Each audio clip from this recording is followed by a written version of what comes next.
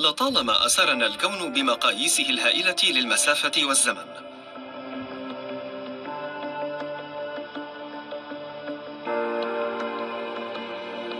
في الآونة الأخيرة سمحت لنا التلسكوبات الجديدة العملاقة بإلقاء نظرة على أعمق أعماق الكون المعروف.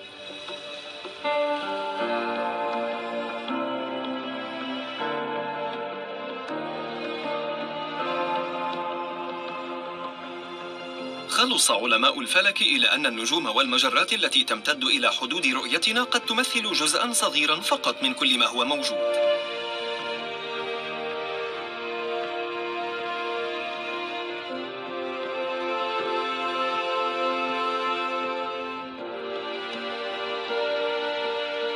إنهم رواد نظريات جريئة جديدة تصف كونا يمتد إلى ما هو أبعد من حدود رؤيتنا.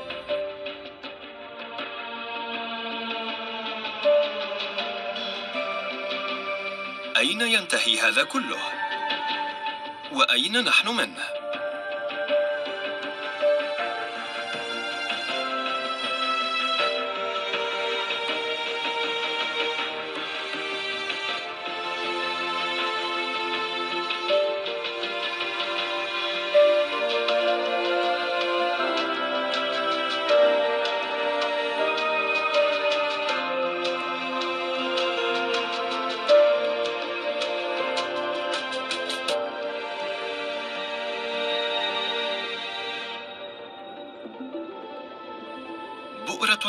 استيطانية نائية في جبال الأنديز. هنا يفتح علماء الفلك نافذة جديدة تماما على الكون. سيرسل تلسكوب روبن بمرآته العملاقة المتطورة دفقا هائلا من البيانات إلى شبكة عالمية من مراكز المعالجة وأجهزة الكمبيوتر العملاقة.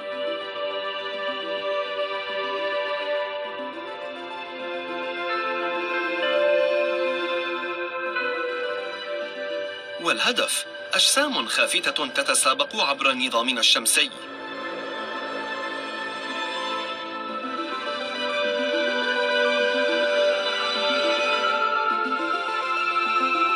نجوم في مجرات بعيدة تنفجر.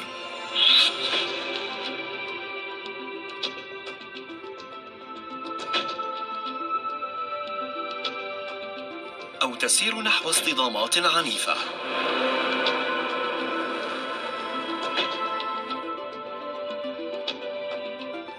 انفجارات الطاقة هذه الآتية من زوايا بعيدة في الخليقة هي رسائل من كون يتطور بطرق يصعب علينا فهمها.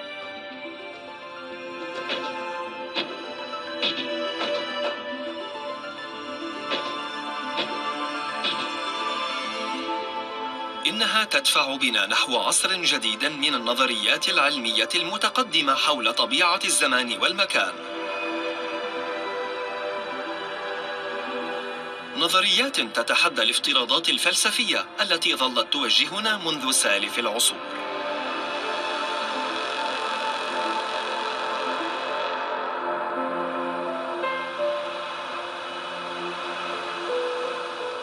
كان الإغريق أول من رأى أن الأحداث الطبيعية ظواهر تخضع للتحقيق البشري وليس لأهواء الآلهة.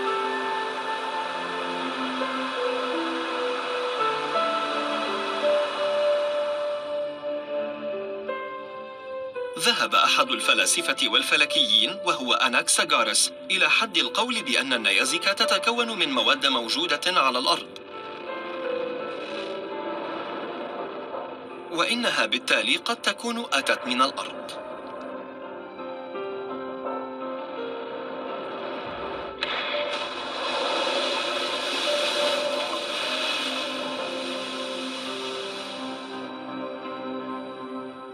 وفقا للمراقبين آنذاك كان العالم يتكون من أربعة عناصر كلاسيكية وهي التراب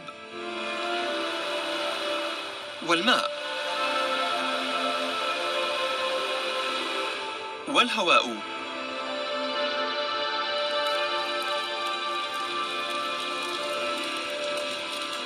والنار.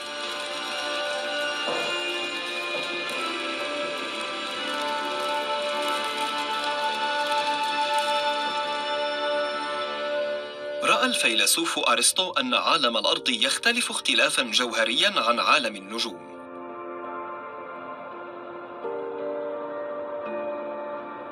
حيث قال إن النجوم تتكون من عنصر خامس لا متغير وغير قابل للفساد. أسماه الجوهر الخامس أو الأثير.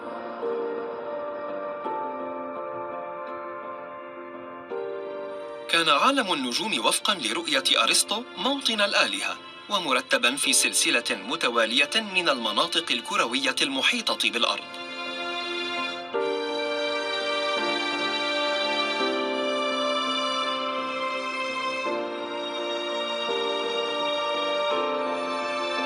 ماذا سيحدث لو أن محاربا سافر إلى المنطقة الخارجية وألقى بحربة؟ إلى أين ستذهب؟ يقول أرسطو إنها لن تطير في رحلة لا نهائية. بل ستنضم إلى حركة النجوم في كرة بلورية تحيط بالأرض.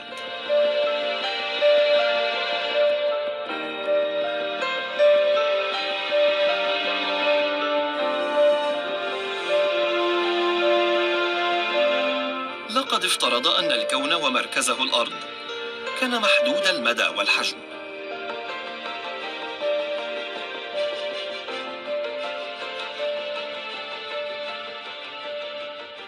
احتار أرسطو في ثغرة ضمنية في هذا الرأي. ثغرة من شأنها أن تغير العلم يوما ما.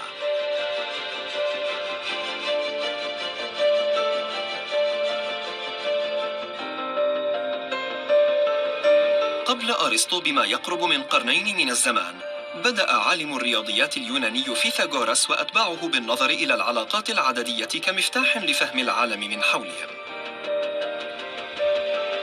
ولكن في دراستهم للأشكال الهندسية اكتشفوا أن بعض النسب المهمة لا يمكن التعبير عنها بأرقام بسيطة. وإحداها هي النسبة بين محيط الدائرة وقطرها المعروفة باسم.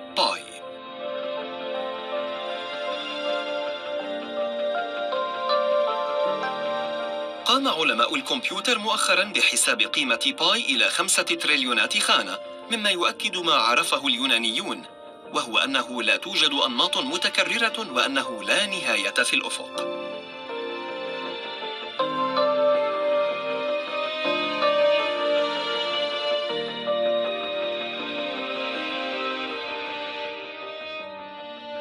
كان اكتشاف ما يسمى بالأرقام غير المنطقية مثل باي أمرا مزعجا.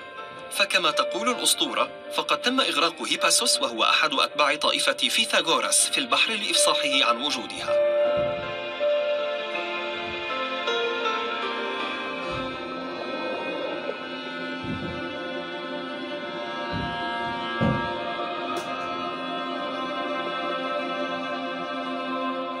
بالنسبة لأرسطو كانت فكرة اللانهاية تشي بالفوضى التي نشأ منها العالم.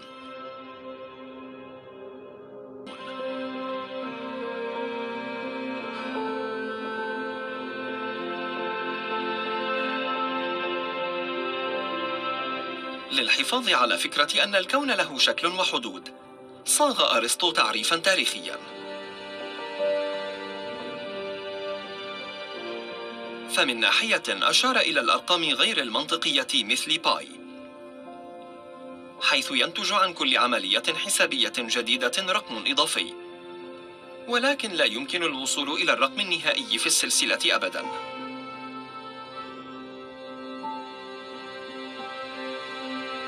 رفض أرسطو هذا الحل باعتبار اللانهاية المحتملة.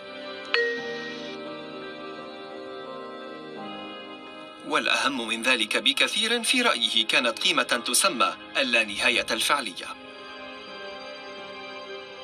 لفهم هذه القيمة خذوا مسطرة وحاولوا حساب عدد التقسيمات الفرعية داخل التقسيمات الفرعية.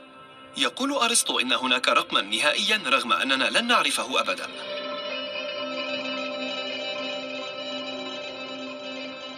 ظل أرسطو متمسكا بتلك المعرفة لما يسمى بالمحرك الأول. أي من خلق الكون والذي يعمل بما يتجاوز قدراتنا الضئيلة. أصبحت هذه الفكرة أساس الحجة الكونية أو حجة السبب الأول لوجود الله.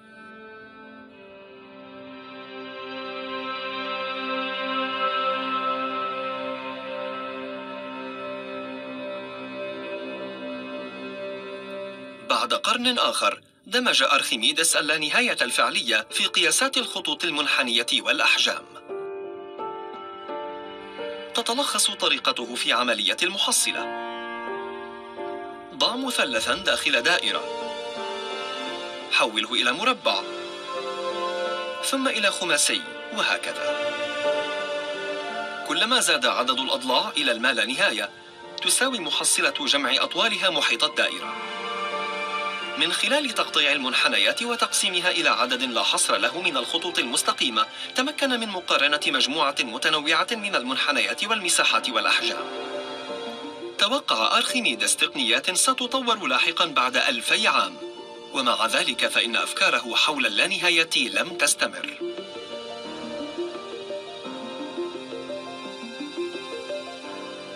بل كانت فكرة أرسطو عن الكون المحدود حيث تحتل الأرض مركزه بقوة هي التي انتقلت إلى العصر المسيحي.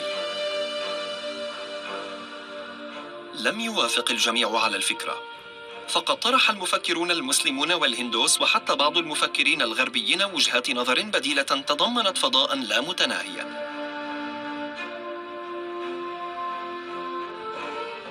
في الأوساط الأوروبية أصبحت فكرة الكون المحدود موضع تساؤل خلال عصر النهضة.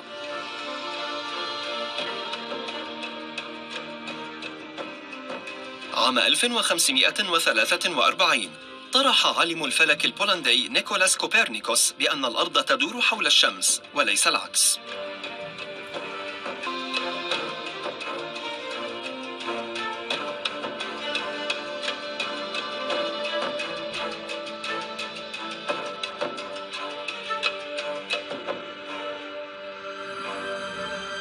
بدأت مدارات الإغريق القديمة بالسقوط حين اكتشف عالم الفلك. تايكو براهي مستعرا أعظم عام 1572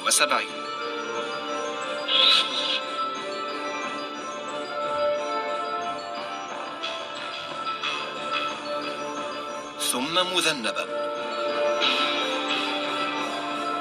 إذ بدأ أن تلك الأجرام تتصرف بشكل مستقل عن النجوم الأخرى. ومع ذلك استاء قادة الكنيسة من أي محاولة لتوسيع حدود الكون لأنها تتخطى حدود أرض الله الفريدة.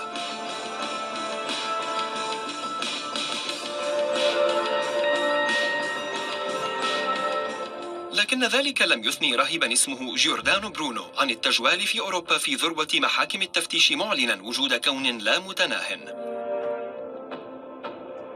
ليتم حرقه حيا على وتد عام 1600 بسبب هذه البدع وغيرها.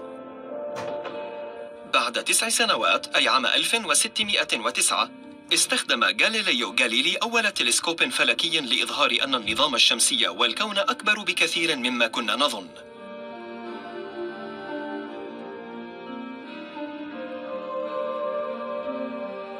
أجبر غاليليو على التراجع عن آرائه. ومع ذلك بدأت حقيقة وجود كون أكبر بكثير تترسخ. تحدث جون ميلتون عن جيل من العلماء والشعراء في ملحمته من القرن السابع عشر بعنوان الفردوس المفقود.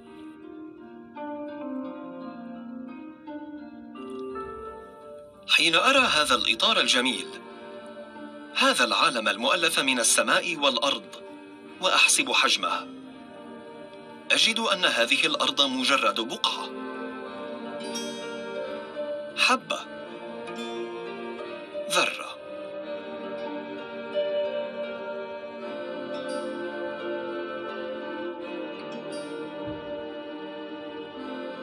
في نهاية القرن التاسع عشر سعى عالم الرياضيات جورج كانتر لفصل الميتافيزيقيا عن الرياضيات بشكل نهائي.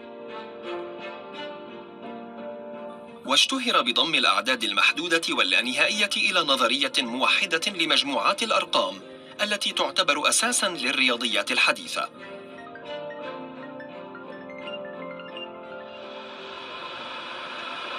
لإظهار كيفية عملها استخدم المدافعون عنه مثال هذا الفندق الضخم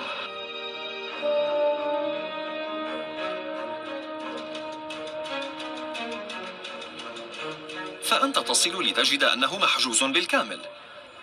لكنك محظوظ لأنه يوجد هنا عدد لا حصر له من الغرف. فتخصص لك المديرة الغرفة رقم واحد وترشدك إلى آخر الممر. ثم تذهب إلى العمل. لتنقل نزيل الغرفة رقم واحد إلى الغرفة رقم اثنين ونزيل الثانية إلى الثالثة. والثالثة إلى الرابعة وهكذا. إذا في هذا الفندق هناك مجموعة أرقام تتضمن عددا غير محدود من الغرف. ثم هناك نفس المجموعة بالإضافة إلى غرفتك.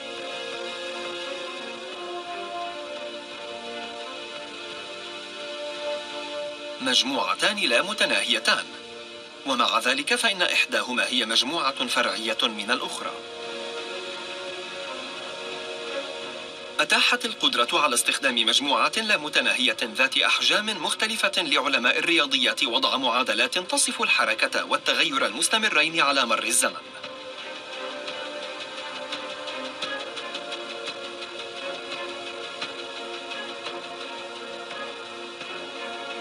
حتى مع اعتناق علماء الرياضيات لفكرة اللانهاية فما زال العلماء يواجهون صعوبة في دمجها مع الواقع المادي.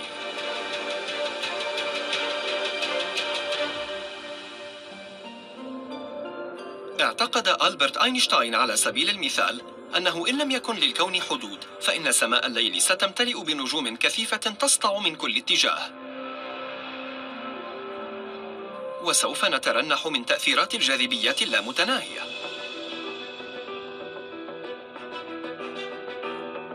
واعتقد أينشتاين أسوة بأرسطو ومحاربه بأن الفضاء منحن بطبيعته.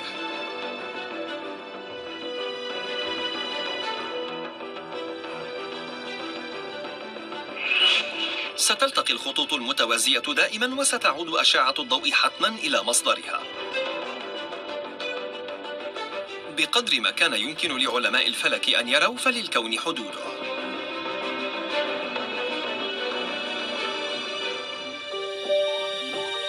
إنه يتألف من قرص مسطح من النجوم درب.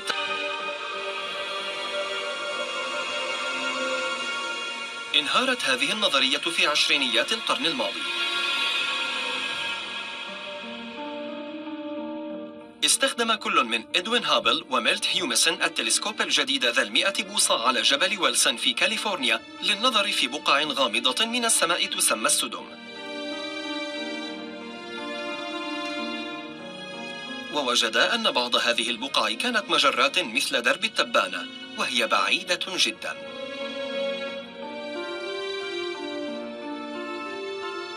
والأكثر من ذلك أنها كلما ابتعدت زادت سرعة ابتعادها عنا. أدت هذه الحقيقة المعروفة باسم قانون هابل إلى استنتاج لا مفر منه. وهو أن الكون بدأ في لحظة فريدة من الزمن. حدث بدائي عنيف سمي الانفجار العظيم.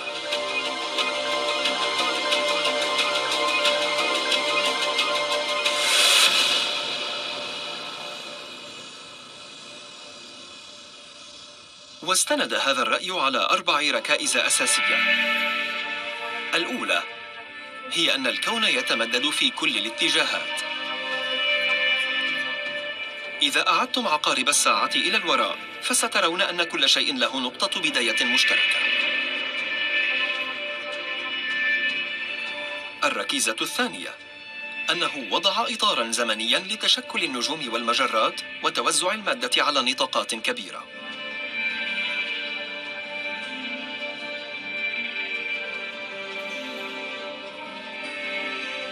والثالثة هي أنه وضع إطارا زمنيا للتطور الكيميائي للكون حيث سادت العناصر الخفيفة مثل الهيدروجين في الكون المبكر. أما العناصر الأثقل فتولدت بمرور الوقت مع ولادة النجوم وموتها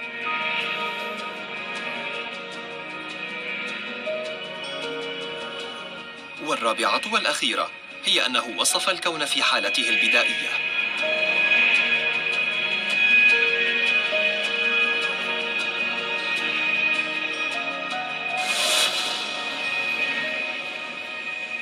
في أعقاب الانفجار العظيم امتلأ الكون بسحابة من الغاز شديد السخونة شتت كل الضوء. وحين برد الكون وتشكلت الذرات الأولى تبددت السحابة. وأصبح الضوء قادرا على التحرك بحرية. بمرور الوقت ومع توسع الكون قد تكون البصمة الطيفية لهذا الضوء قد تحولت إلى جزء الموجات الميكروية من الطيف الكهرومغناطيسي. في أحد الاكتشافات العرضية الكبرى على الإطلاق اكتشف زوج من الفيزيائيين هذا الضوء البدائي في الستينيات. قام بيل لابس ببناء هوائي عملاق على شكل قرن كجزء من نظام إرسال لاسلكي لمسافات طويلة. ثم وجه أرنو بنزياس وروبرت ويلسون هذه الأداة الغريبة إلى الفضاء.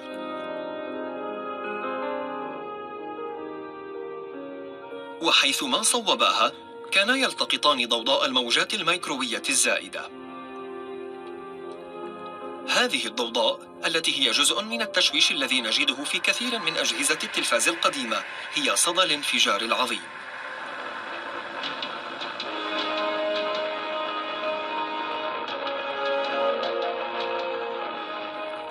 بعد عقود قام العلماء بفحصها عن كثب. حيث تم إطلاق تلسكوب هابل الفضائي إلى مداره في الرابع والعشرين من نيسان أبريل عام 1990 في أحد أهم المنعطفات العلمية في عصرنا.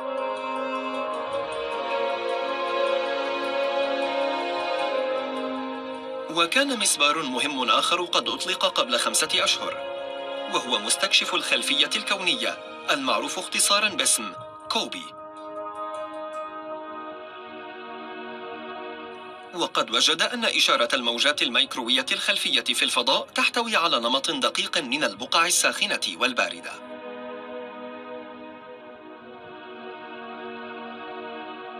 حددت البعثات اللاحقة نمطا أكثر تفصيلا بما في ذلك هذه الصورة من مرصد بلانك الأوروبي.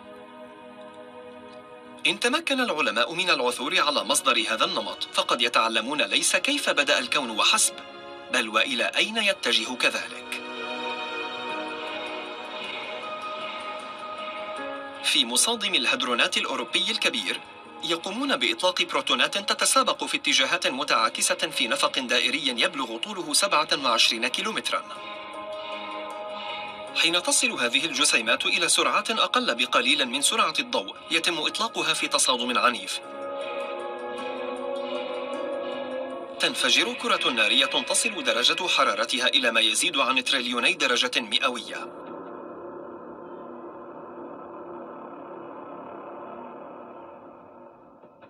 على حد علمنا فإن آخر مرة كان فيها أي شيء في كوننا بهذه الحرارة كانت في جزء من المليون من الثانية بعد ولادة الكون مباشرة.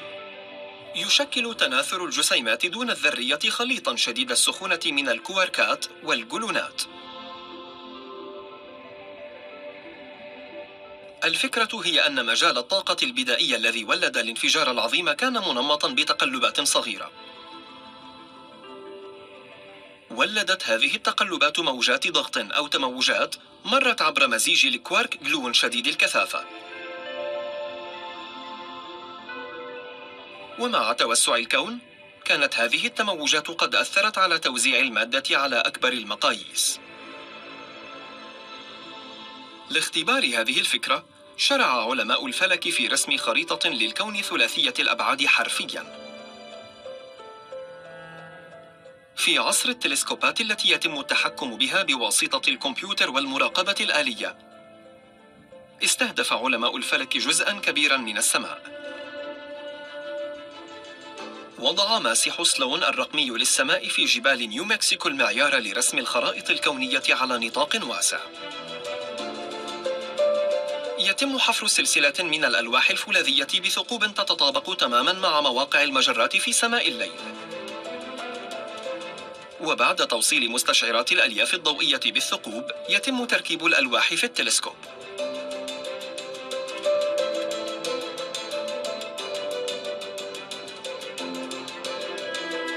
ثم يلتقط ضوء مئات المجرات كل ليلة ويجمع معلومات حول سطوعها وبعدها عن الأرض.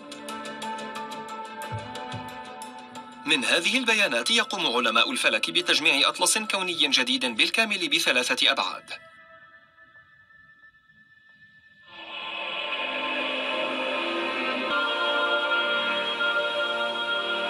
القائمة في جبال تشيلي. يستخدم مسح الطاقة المظلمة واحدة من أكبر الكاميرات في العالم لتقسيم مجال الرؤية إلى 62 راصدا عالي الدقة. يلتقط كل واحد آلافا لا حصر لها من الأجرام السماوية تمتد في منتصف الطريق عبر الكون المرئي.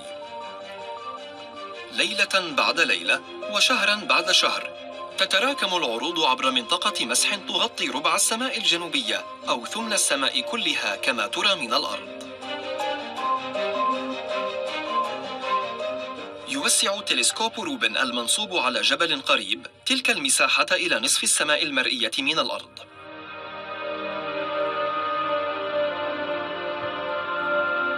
يتم تحديد المسافة التي يمكننا رؤيتها في الكون العميق من خلال سرعة الضوء أي المدى الذي يمكن لضوء الأجرام البعيدة أن يقطعه منذ الانفجار العظيم؟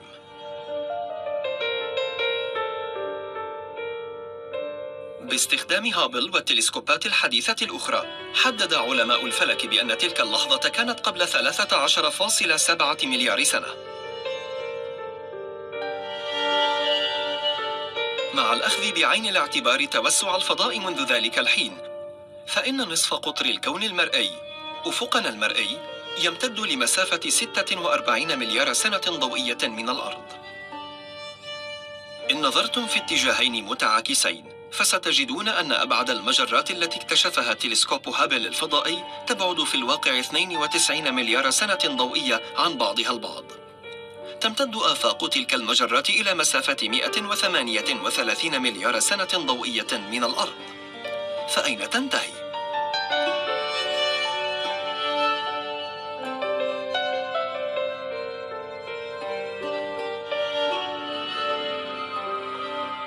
في الواقع قد تكون البقعة التي يبلغ عرضها 92 مليار سنة ضوئية أي الكون المرئي مجرد بقعة داخل الكون ككل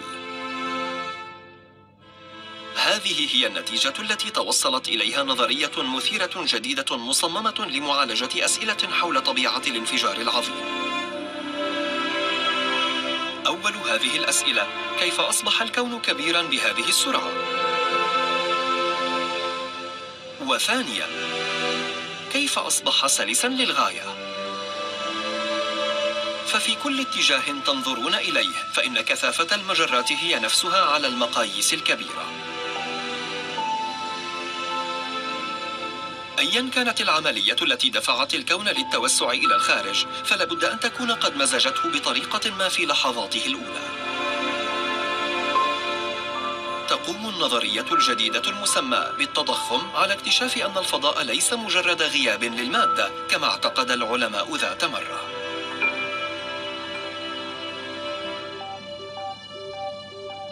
بل هو في الواقع مليء بطاقة على شكل جسيمات ذات شحنة معاكسة ومادة ومادة مضادة.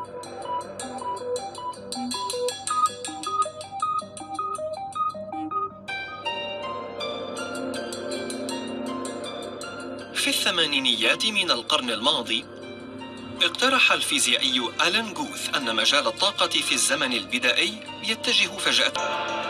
ونتيجة لذلك وفقا لحساب جوث فإن الكون ككل قد نما إلى حوالي عشرة مليارات تريليون ضعف حجم الكون المرئي.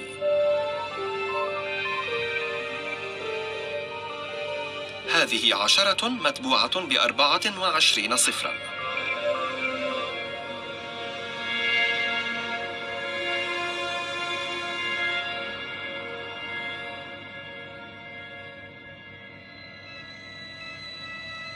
بعبارة أخرى فإن الذرة بالنسبة للكون المرئي تشبه الكون المرئي بالنسبة للكون ككل.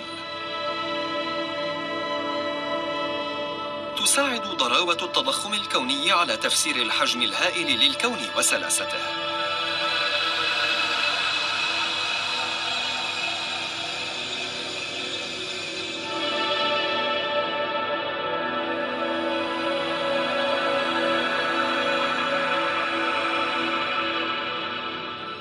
تساعد ضراوة التضخم الكوني على تفسير الحجم الهائل للكون وسلاسته.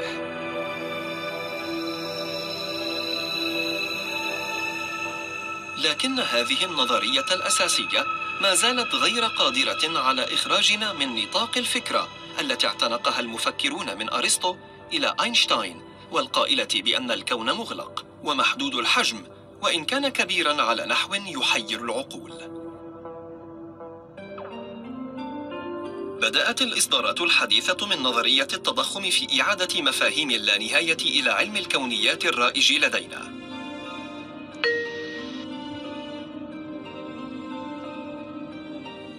لقد عرف الفلكيون منذ عقود أن كمية المادة التي تمت ملاحظتها في المجرات البعيدة لا توفر الجاذبية الكافية لتماسك هذه الأجرام الدوارة. هناك عنصر مفقود لا نراه ولا تزال هويته مجهولة. يسميه العلماء المادة المظلمة.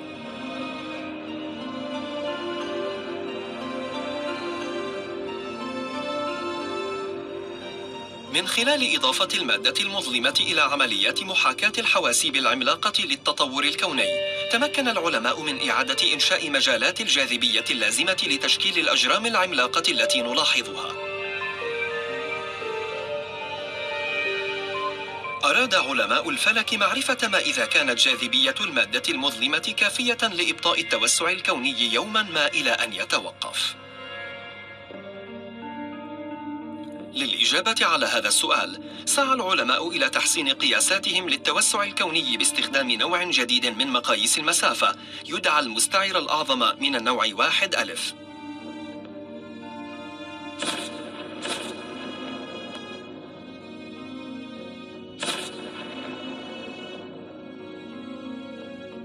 ينبثق المستعر من بقايا متفحمة لنجم يشبه الشمس يسمى القزم الأبيض.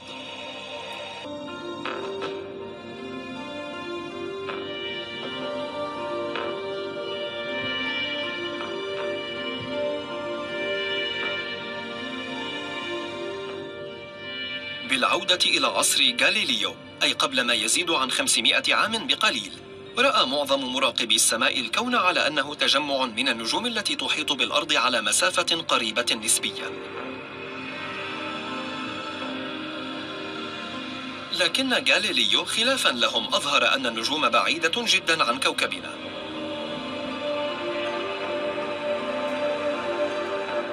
تخيلوا كيف سيكون رد فعل غاليليو على هذه الصورة للأرض التي تم التقاطها عام 1979 بواسطة المركبة الفضائية. فوياجر 2 أثناء مرورها بالقرب من نبتون.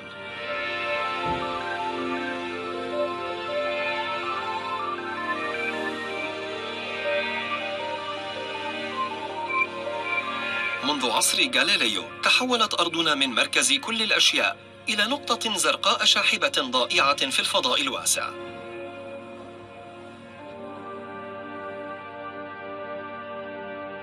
نحن نعلم الآن أنها تقع داخل كون من المجرات.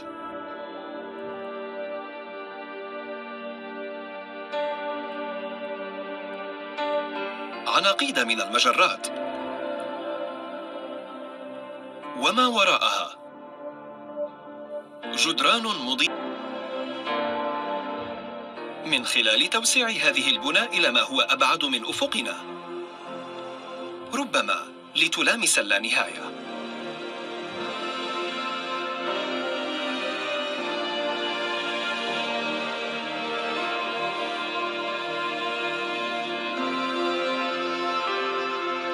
فهل تدفعنا اكتشافاتنا على هذا الكوكب الصغير الهامشي إلى ركن أكثر صغرا من الخليقة؟